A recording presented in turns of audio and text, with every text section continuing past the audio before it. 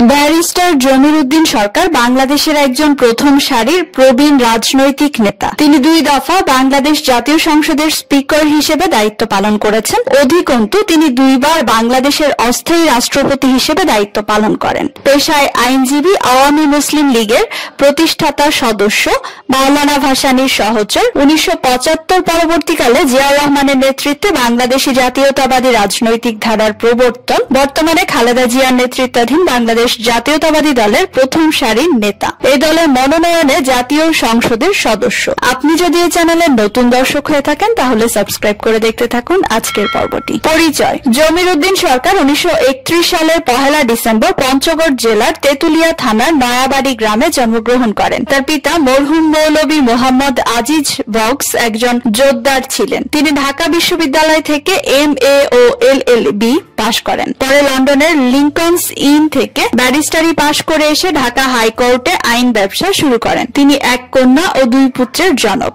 রাজনীতি ও অন্যান্য। তিনি মোট চারবার জাতীয় সংসদের সদস্য নির্বাচিত হয়েছেন ব্যারিস্টার জমির উদ্দিন সরকার। এর আগে তিনি উনিশশো সালের দ্বিতীয়, উনিশশো একানব্বই সালের পঞ্চম ও উনিশশো ছিয়ানব্বই সালের সপ্তম সপ্তম সংসদে নির্বাচিত হয়েছিলেন। বিএনপি সরকারের আমলে তিনি গণপ্রজাতন্ত্রী বাংলাদেশের ভারপ্রাপ্ত রাষ্ট্রপতি হিসেবে বেশ কিছুদিন দায়িত্ব পালন করেন। রাষ্ট্রপতি অধ্যাপক A Q M Badruddoza Chowdhury পদত্যাগ করার পর নতুন রাষ্ট্রপতি নির্বাচিত না হওয়া পর্যন্ত সংবিধান অনুযায়ী স্পিকার ভারপ্রাপ্ত রাষ্ট্রপতি হিসেবে দায়িত্ব পালন করেন। সাবেক বিএনপি সরকারে তিনি বিভিন্ন গুরুত্বপূর্ণ মন্ত্রণালয়ের মন্ত্রী হিসেবে দায়িত্ব পালন করেন। উনিশশো আশি থেকে বিরাশি সময়কালে তিনি প্রথমে গৃহায়ন ও গণপূর্ত এবং পরে পররাষ্ট্রমন্ত্রীর দায়িত্ব পালন করেন। উনিশশো একানব্বই থেকে ছিয়ানব্বই সময়কালে তিনি ভূমি, শিক্ষা এবং আইন, বিচার ও সংসদ বিষয়ক মন্ত্রণালয়ের মন্ত্রী হিসেবে দায়িত্ব পালন করেন। ষষ্ঠ সংসদ নির্বাচনের পর গঠিত স্বল্পকালীন বিএনপি সরকারে তিনি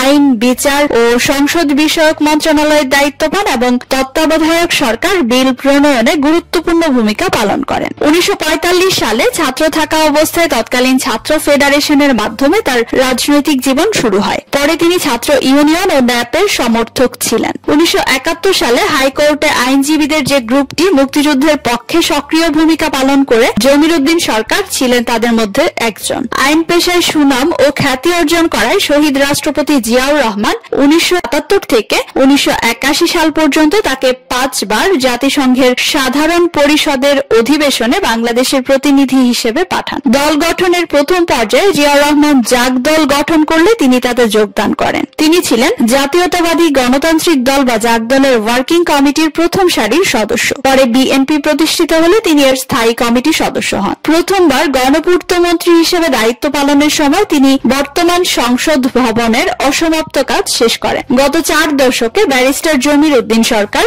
Asia, Europe, America, Latin America সহ বহু দেশ সফর করেছেন এবং আন্তর্জাতিক বহু আইন সম্মেলন ও সেমিনারে সভাপতিত্ব করেছেন। প্রকাশিত বই, গণতন্ত্রের উৎপত্তি ও ক্রমবিকাশ, এক নজরে সংসদ সম্পর্কিত বিধিবিধান, লন্ডনের শিক্ষা জীবন। বন্ধুরা এই ছিল আজকের আয়োজন। আজকের পর্বটি কেমন লাগল অবশ্যই কমেন্ট করে জানাবেন। সেই সাথে এমন মহান ও বিশিষ্ট ব্যক্তিদের জীবনী সম্বন্ধে জানতে আমাদের চ্যানেলটি সাবস্ক্রাইব করে রাখুন। ভালো থাকুন সবাই, আসসালামু আলাইকুম।